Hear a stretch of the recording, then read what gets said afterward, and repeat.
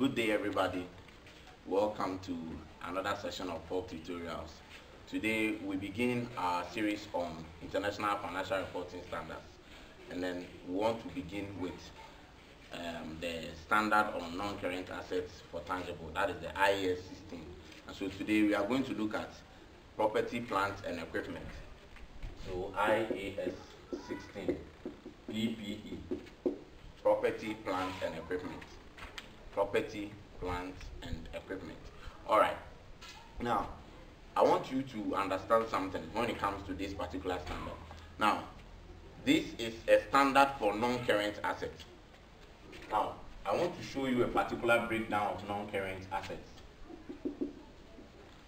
Now, non-current assets, we say that they are assets that has more than one year of economic life to the business and then it's useful. Now, there are some standards that are regulating this non-current asset. Now, first of all, you have to understand that there are two broad classifications when it comes to whether it's tangible or not. We have tangible non-current assets and then we have the intangibles.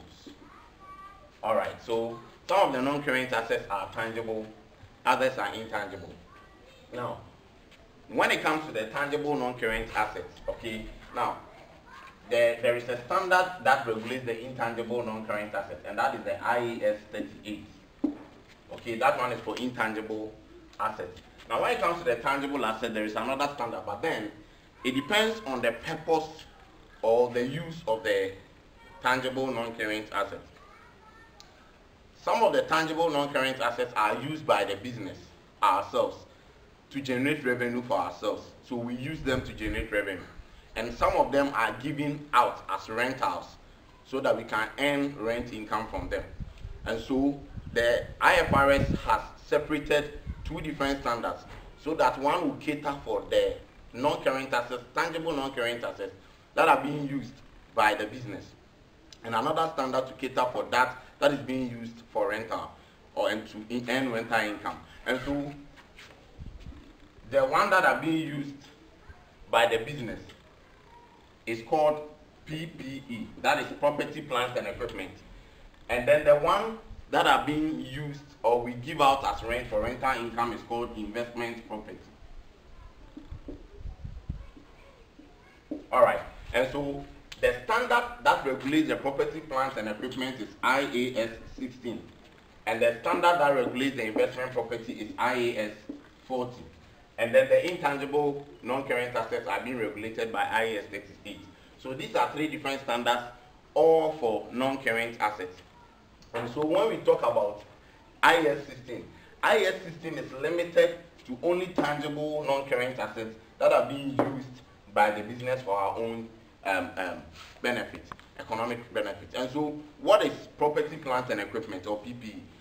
IAS 16, the scope of IAS 16 is that the standard serves as a guide for us to know how to treat non-current assets that are tangible and that are being used by the business ourselves to generate revenue. So that if there is a non-current asset that is being used or that is being given out as a rental property, even though it's a physical, a tangible non-current asset, it does not form part of PPE except it is being used by the business itself to generate revenue. Alright, and so these are the dynamics of the scope of the non-current assets uh, of the property, plant and equipment, sorry. And so having understood this, then we want to understand, so it is the property, plant and uh, equipment. This is a professional name that has been given, a professional name that has been given for non-current assets that are tangible and that are being used by the business to generate revenue. And so what is property, plant and equipment again? Property, plant and equipment are tangible non-current assets that are being used by the business to generate revenue. And so there is always a temptation, especially when we are preparing uh, published accounts for companies and we have to prepare a property, plant and equipment schedule. There is a temptation on the part of professional students writing the, either the ACCA or ICAG Ghana. Those, mo most of the time, people are tempted to pick investment property as part of the PPE schedule. And that is why I took my time to explain that if the non-current asset is not being used by the business, it does not form part of the property, plant, and equipment. Okay, so IAS 16, property, plant, and equipment does not apply. It does not apply to biological assets. So take note that biological assets are not covered under IAS 16. And also, mineral rights and reserves are also not covered by the IAS 16. And so whenever we are looking at IAS 16, we exclude these two because they are covered by other financial reporting standards. Okay, and so we look at some basic definitions under IAS 16. So there are some basic terms that we should be conversant with as far as the IAS 16 is concerned. And the first one is cost. What is cost? What is cost? Cost refers to the amount of consideration paid or the fair value that is incurred in exchange for the non-current asset. And so when we buy a non-current asset, the amount of consideration that we pay out, including all other direct costs that are incurred in bringing the asset to its useful state, is called cost. And we will come back to the components of cost and then we'll look at it into detail. And so let me just take my time on cost. And the next thing I want to talk about is residual value. Residual value. Now residual value or what some others we call it scrap value is the value at which the asset will be sold at the end of its useful life. The value at which the asset could be sold at the end of its useful life. That is the residual value. And so when we want to look at depreciation, especially, we consider the residual value. And also, we want to look at fair value. Fair value. Now, when we say the fair value of an asset or a property, plant, and equipment, we are talking about the amount at which the asset could be exchanged between knowledgeable and willing parties in an arm's length transaction. That is the standard definition. And so we look at the amount at which we can exchange the, the asset between ourselves when there is uh, the market is an efficient market because an efficient market is a market that, that has information. And so when the market is efficient, usually there are no cheating in the market. And that is why we say that the value is fair because the cheat is not there. And so the value at which an asset will be uh, transferred between knowledgeable and willing parties in an arm's length transaction is what we call fair value of an asset. Okay, so the next thing that I want to also explain is what we call entity specific value. Or we call it the value in use. So you either see it as entity specific value or value in use. Now, what is the meaning of entity specific value? Now, the entity spe specific value of the asset is the, we are, we are looking at a projection, okay? And so if we continue to use the asset and do not sell it, we expect that the non-current asset will let some income flow into the business. It will generate revenue for the business or the organization. And so we will look at if we have 10 years useful life ahead of us to use the non-current assets. we estimate the cash flows that will be coming into the business for all the 10 years. And then we add all of them up. And when we add all of them up, we know the total cash flows that are going to come into the business as a continuous use of the assets. Okay, and so we also take into consideration the time value of money. And so what we do is that there is a discounting of the future cash flows into today's terms so we look at the present value of the cash flows that are going to be generated from the continuous use of the assets into today's terms. And so when we want to talk about the entity specific value, we will say that it is the present value of the expected cash flows that, are that is supposed to be generated by the business from the continuous use of the asset. That is basically what this value in use is about. And so we look at the combined revenue that we will get into the future from the continuous use of the asset, taking the present value of the totals year by year and then we add them up. That is basically what we call the value in use for the non-current asset. Okay, for the non-current assets. And then also we look at the carrying amount.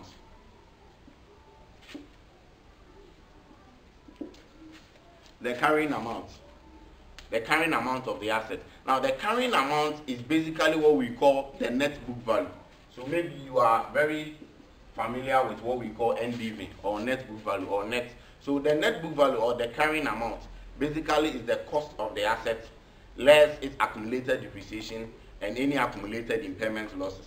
And so we will come to impairment into detail. So that is basically what the carrying amount is. Cost minus accumulated depreciation minus accumulated impairment losses. Then we get the carrying amount. And the carrying amount means that that is the amount that we are carrying onto the statement of financial position in respect of the item of PPE.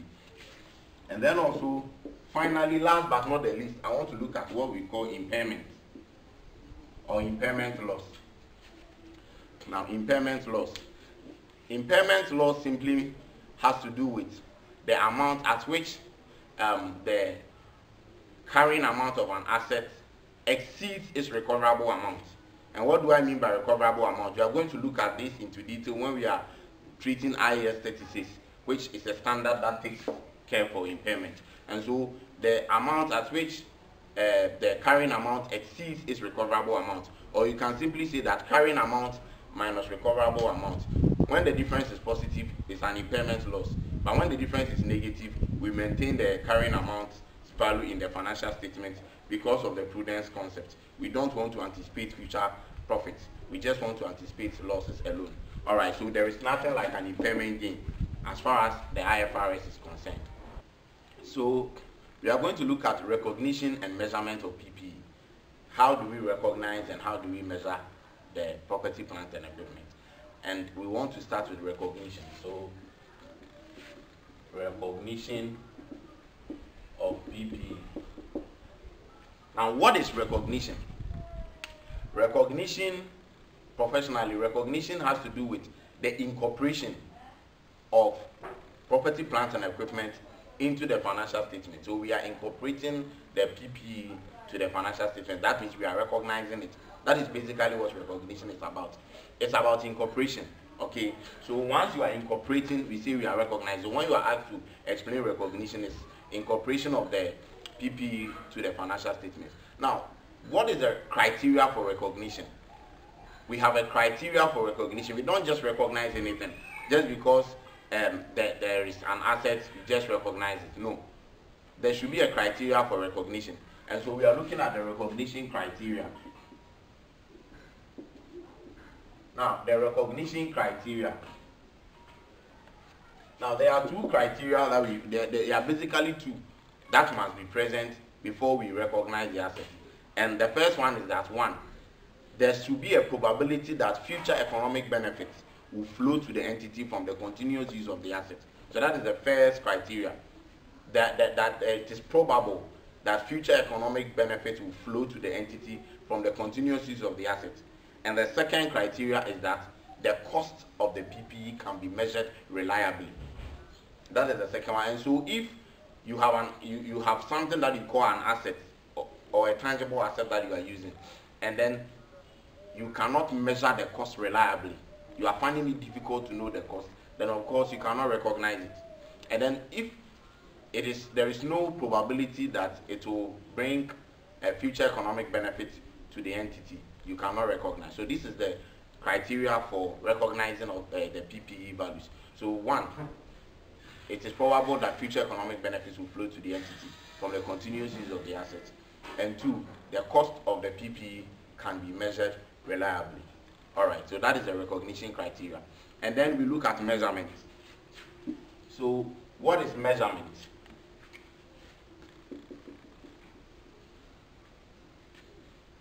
Measurement of PPE. So what is measurement? Measurement simply means that you are assigning values to the PPE. And so once you are able to estimate the cost and whatever model that you are using, you are assigning value to the asset so that you will incorporate it. And then you cannot recognize an asset when you don't it doesn't have a value. What value what value are you going to give it to it? or you're going to give to it in the financial statement. And so measurement of PPE is simply assigning of values to the asset for recognition. All right, so we measure and then we recognize. So that is basically how recognition and measurement moves together. Now, there are two different recognition um, methods. Or we have measurement at initial recognition, let me say that. And then we have measurement subsequent to initial recognition. So at initial recognition,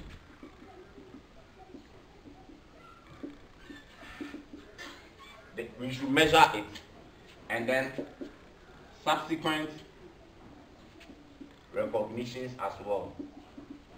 So we have one measurement that is at initial recognition and then we have measurement that is subsequent to initial recognition. So these are the two different times that we do measurements. We can measure at initial recognition and then we can measure subsequently year by year. Okay, and so now there are some models that we use to recognize or to measure. Now when we are doing measurement at initial recognition, we don't have any option than to go by the cost. Than to go by than to go by the cost because once you buy the asset, you know the cost of the asset that you have acquired. And that at that time, that is the initial stage. And so the only value that you reasonably assign to the PPE is the cost. And so when you pick the cost, you just, if you, the cost is 10,000 cedis and the item is, let's say, building, you just go to the financial statement, building, you put uh, 10,000 as a value. And that is how you measured it at cost. And so at initial recognition, we measure by cost alone. And so the cost model, we call it the cost model, is always used at initial recognition. Now, when we come to subsequent recognition, that is year after year, when we have depreciated the asset and the asset is being used throughout its useful life, we have two me methods that we can go. We can still maintain the cost model. We can still maintain the cost model, or we go by the revaluation model. So the revaluation model comes in when there is a subsequent uh, measurement, uh, subsequent recognition. Okay, so when there is initial recognition, we go by the cost model, we measure at cost. But during subsequent recognitions, we look at going either the cost way or the revaluation model. And then I'm going to take my time to explain both models and then you understand them and apply them in your calculations. Okay, so we are going to look at both models, the cost model and a revaluation model. And so I want to begin with a cost model. And so with a cost model, the first and the most important part of it that we should look at is the components of cost.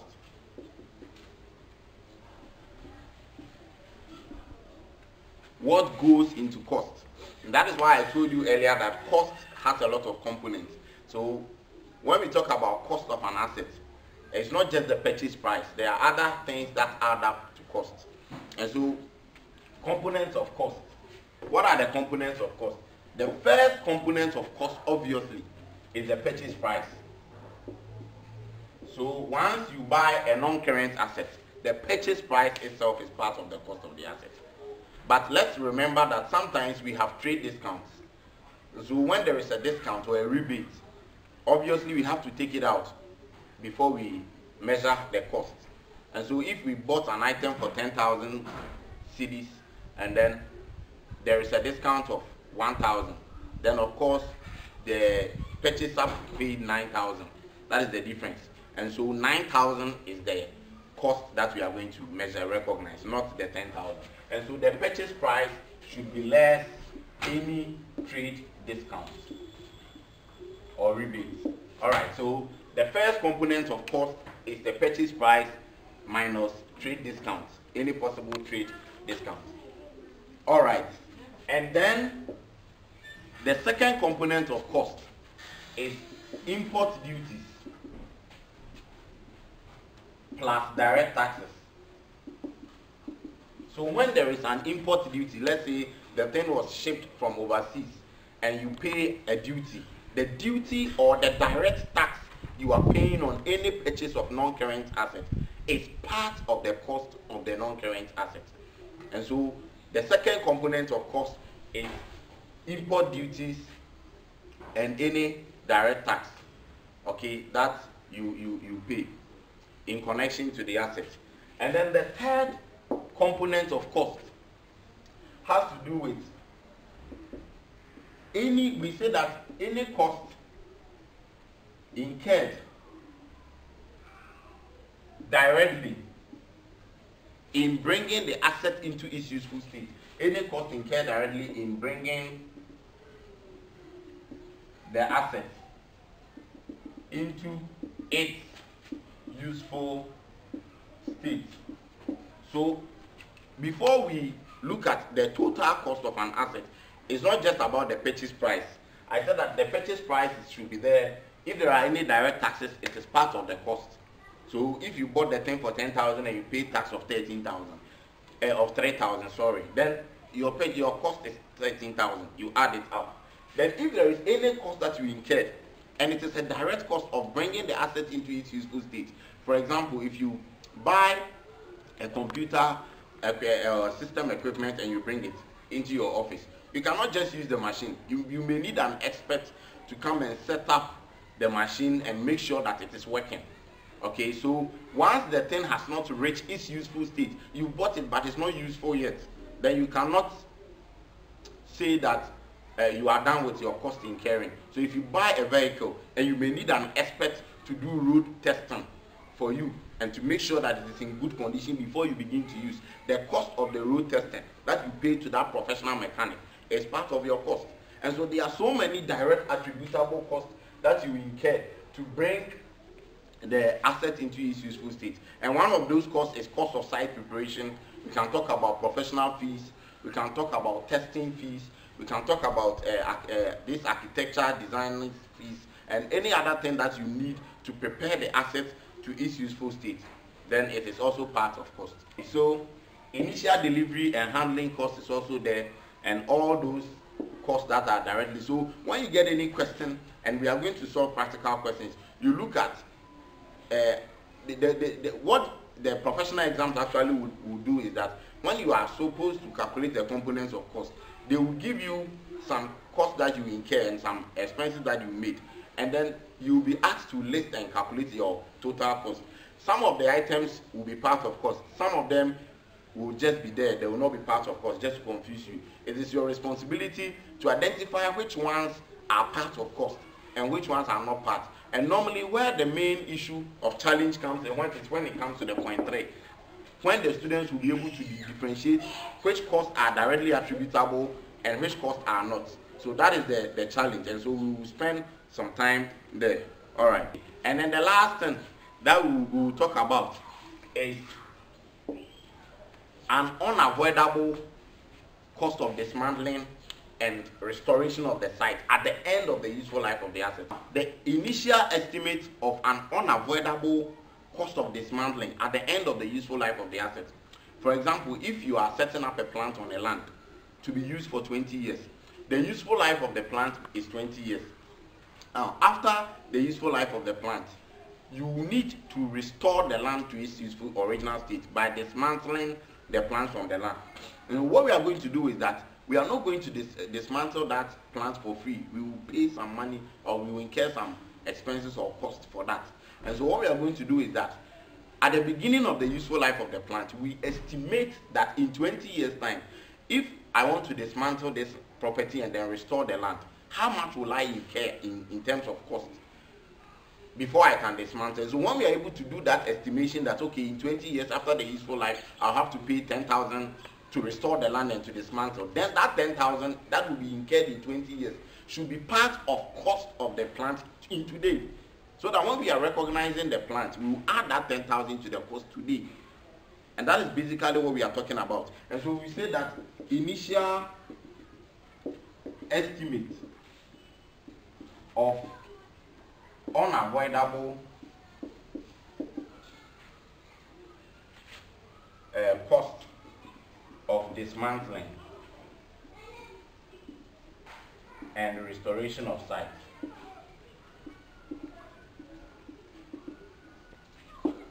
All right, so basically, this is the four points that we look at the estimates of an unavoidable a cost we cannot avoid.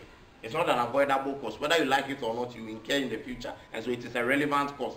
And so it is part of the cost of the non-current asset. Ladies and gentlemen, these are the four main components of cost. But I told you, and I want to repeat again, that the third one is the most challenging. Maybe you have a problem with solving questions in connection with components of cost. But I want you to take your time and understand the third point very well. Once you are able to understand the third point very well, I believe your problem will be solved. Because the first one is obvious. Everyone will know that purchase price is part of the cost. Even those who have never done accounting before. But when it comes to import duties, it's not difficult to remember that import duties and direct taxes are part of cost. When we, it comes to the uh, estimation of the future unavoidable cost of dismantling, those ones is a unique thing that you always remember most likely. Now when it comes to the other costs that are directly attributable, hmm, the other direct attributable costs, those ones can be many. Those ones are not specifics. And to help you again, I will start by saying that cost of site preparation is one of them. Then testing, initial testing of the asset is one of them. Then the fees you pay to the professional for testing is also one of them. So th there are some fees that, or there are costs that you, if you don't incur them, the asset will not be ready for use. And that is what I mean. You need to incur them before you use it. So try and differentiate. They will bring in other costs. But if your judgment tells you that for this cost, whether we incurred it or not, we can start using the asset, then this is not part of the point three. This point three means that we cannot use the assets except we incur them. And there are many, and they can come in different forms. And so once you see them, it comes back to your judgment that is this cost um, uh, cost that I have to incur before I start using the asset, then that cost will be part of the cost of the non total cost of the non-current asset or PPE. Okay, so this is basically the components of cost. Now we are going to look at, we have looked at the components of cost. So we are going to look at uh, those that are not part of the components of cost. When you see them, they are there to confuse you. Don't add them. So I will say exclusions from the components of cost. Of cost. We are looking at exclusions. Now, remember that I told you that there are some costs that are directly attributed in bringing the asset into its useful state. Now, so those costs like testing of the asset itself is part of the components of cost. But after the asset has been tested and then we are starting operations with it, we can have some pre-production costs by ourselves. This one, the expert is gone and we are having a startup and maybe we, we do first batch of production for test or something. And those ones are not the testing of the asset. We call them startup costs and pre-production costs. Those ones are not part of the cost of the PPE because the PPE has been set and ready for use before we started. I told you that those costs must be inevitable. We should, the cost that should be part of PPE should be costs that we cannot do without except, we cannot start the asset except we incur them. Start using the asset except we incur. But now, we are saying that these ones, they, they are costs that the asset has been made ready and then we can use it but we ourselves decide that okay let's give ourselves some time. Let's not start the production but let's do, do some pre-production things with the machine on our own. And so we call them startup costs. Or pre-production costs.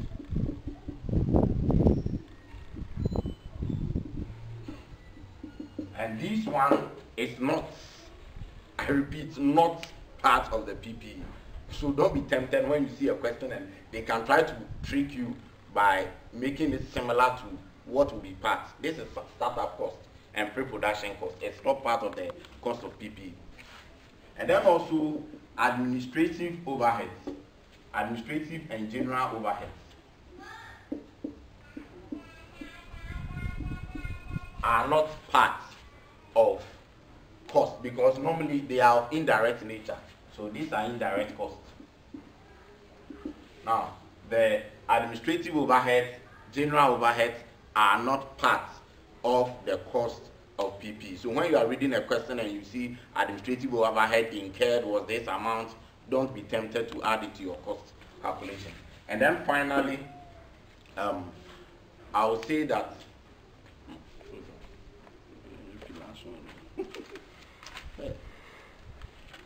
And then the BA, sir.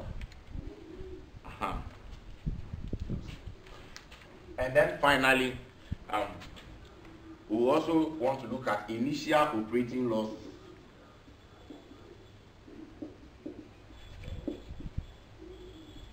Initial operating losses.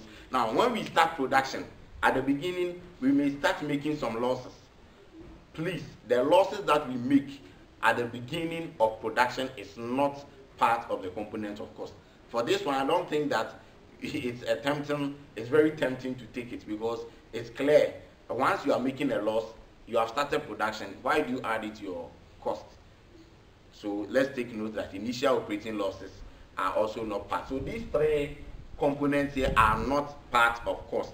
We have talked about four basic components of cost and we have also seen three items that are not part of the components of cost. Okay, and so we are going to take we are going to take a question and then we are going to look at how to identify the components of cost. I want us to take a look at a question on component of cost and let's see how we have enhanced our understanding. You have just been appointed as a financial accountant of Odamia Pia Company Limited. On 1st January 2011, Odamia Pia Company acquired a production equipment with a list price of 250,000. The following costs were further incurred. Delivery 18,000, installation 24,000, general administrative cost of indirect nature 3,000. The installation and setting up period took three months, and a further amount of 21,000 was spent on costs directly related to bringing the asset to its working condition. The equipment was ready for use on 1st April 2011. Monthly managerial reports indicated that for the first five months, the production units from the equipment resulted in an initial operating loss of 15,000 because of small quantities produced. The months thereafter show much more positive results. The equipment has an estimated useful life of 10 years and estimated residual value of 18,000. The estimated dismantling cost amounts to 12,000 required. What is the cost of the assets to be initially recognized in the PPE register? And what amount should be charged in the income statement relating to the consumption of economic benefits embodied in the asset for the 2011 financial year? And so we have been asked to calculate the cost and the, depreciation for the 2011 financial year for Odami Apia Company Limited. Okay. Now, looking at the question, it's just like I told you. Whatever they say is that they will give you a list of items and then you tell which one will be part of cost or which one will not be part. Now you're saying that they purchased an equipment on 1st January 2011. Now, the cost of the equipment is 250,000. Okay, so uh, sorry, the purchase price is 250,000. And so what we, we, we what we are going to do is that as we continue to read ahead, let's identify which ones will be part and which ones will not be part of cost. That is a simple way to go about it. So reading from top to down again, we are going to identify which ones will be part and which ones will not be part of cost. So starting looking at the list price of 250,000, definitely that one will be part of cost because that is the purchase price. Then there is a delivery uh, cost of 18,000, which obviously is also part of the component of cost. Installation cost of 24,000 will also be part of the component of cost. It's part. Then what about general administrative cost of indirect nature? They've even added that. So it means that that 3,000 will not be part of our component of cost. Then we are told that for period of three months, other costs that was directly attributable to bring the assets into its useful state was incurred, and that is 21,000. And that one is a direct cost. we are fortunate that they have summed, they have summed them all up for us as 21,000. And so that is part of the component of cost. Then we also saw that there were some operating losses for the first five months. And like we said, that that is an exclusion to cost. We are not going to add the losses that were incurred. Then there was a residual value of 18,000. The residual value will also not be added to the component of cost because the purpose of the residual value is for the calculation of the depreciation. And then finally, there was an estimated dismantling cost of 12,000, which yes, will be part of the component of cost. And so it's a very simple question. Forget about how long they narrated it. These are the points that I have just picked it out for you. And so we are going to solve this question together. Okay, and so we will say Odame Company Limited. Odame Apia Company Limited. Then we say components of cost.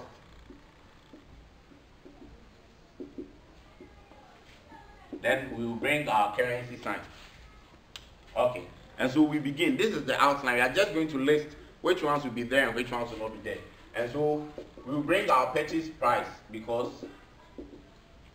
we cannot exclude that obviously. And that is 250,000. There was no trade discount. And so we bring the full amount. If there was a trade discount, then we would have taken out the trade discount from the purchase price and then bring the final figure here. Remember. And then there was a delivery cost of 24,000 Ghana cedis. And so that is part of cost. And then the question also made mention of installation cost. So installation cost will also be there. Sorry, the delivery was 18,000 and then installation is 24,000. Okay. And then there was a general administrative expenses, uh, administrative overhead, which I told you is indirect and will not appear. So that one is just there for confusion. Don't add them. Okay. And then going forward, we also saw that the question says that there was other attributable cost of 20,000. So those are direct costs attributable, 21,000, of which we are supposed to add because it's part of the components of cost. Then there was an operating loss of 15,000, which also will not be added. Remember that I told you that the losses are not part. Then there was a residual value of 18,000.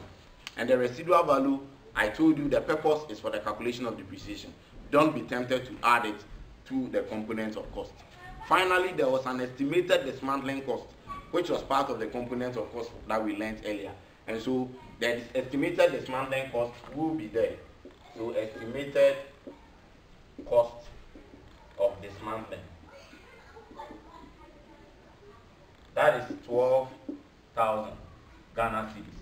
And so we add this up and then we have our component of cost to be 325,000 Ghana cedis.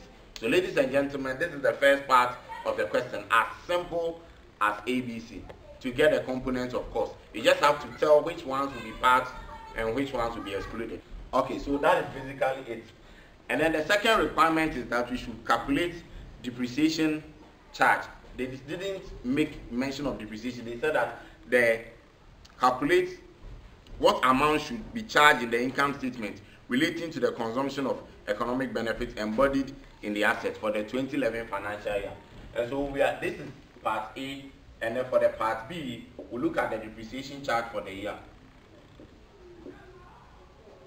And the depreciation charge for the year, the formula is basically our cost minus residual value over the estimated useful life. And this is what we are going to use to calculate our depreciation charge. Okay, so so what we are going to do is that we are going to the cost that we have just identified is 325,000 Ghana cedi. The residual value given to us is 18,000 Ghana cedis. And then the estimated useful life from the question is 10 years. And so what we are going to do is that this is what is supposed to be the depreciation charge for the year. Now there was something very important to the question that I want to draw your attention to. So this is the formula for depreciation charge. Okay, so we are going to calculate depreciation based on the information we have with this formula. And so for depreciation charge for 2011, it's going to be our cost, which is the 200, 325,000 uh, cedis minus the residual value that was given of 18,000 all over the useful life of 10 years. This should be our depreciation charge. But then, remember that there is an important part of the question that I didn't really highlight. We were told that the equipment was ready for use on 1st April 2011. Equipment was ready for use on 1st April. It tells us that the equipment was used from April to December, and that is nine months, not all the 12 months. And this is depreciation charge per annum. So we cannot use per annum when we had only nine months. Of course, there should be a one month ownership basis calculation here. So what we are going to do is that whatever that we have done, we are going to multiply it by 9 over 12 months so that we can have the true reflection because we cannot depreciate the assets that we have not used. You know, depreciation has to do with the consumption of economic benefit from the use of the asset. But if you have not used it, you don't consume any benefit. And so first three months there was no consumption. And that is why I have limited it to 9 over 12. And so when we do this, then our depreciation charge for 2011 will be 23,025 Ghana cedis. And ladies and gentlemen, this will be our final answer for the question. Alright. Okay, so this brings us to part 1 of IAS 16. Now, watch out for the next video. We are going to have a part 2 of this same standard where we are going to look at the other uh, models like the revaluation model and then we'll look at the review of economic useful life and the disclosures that are related to PPE. Thank you so much for watching. Don't forget to subscribe to the channel. Thank you.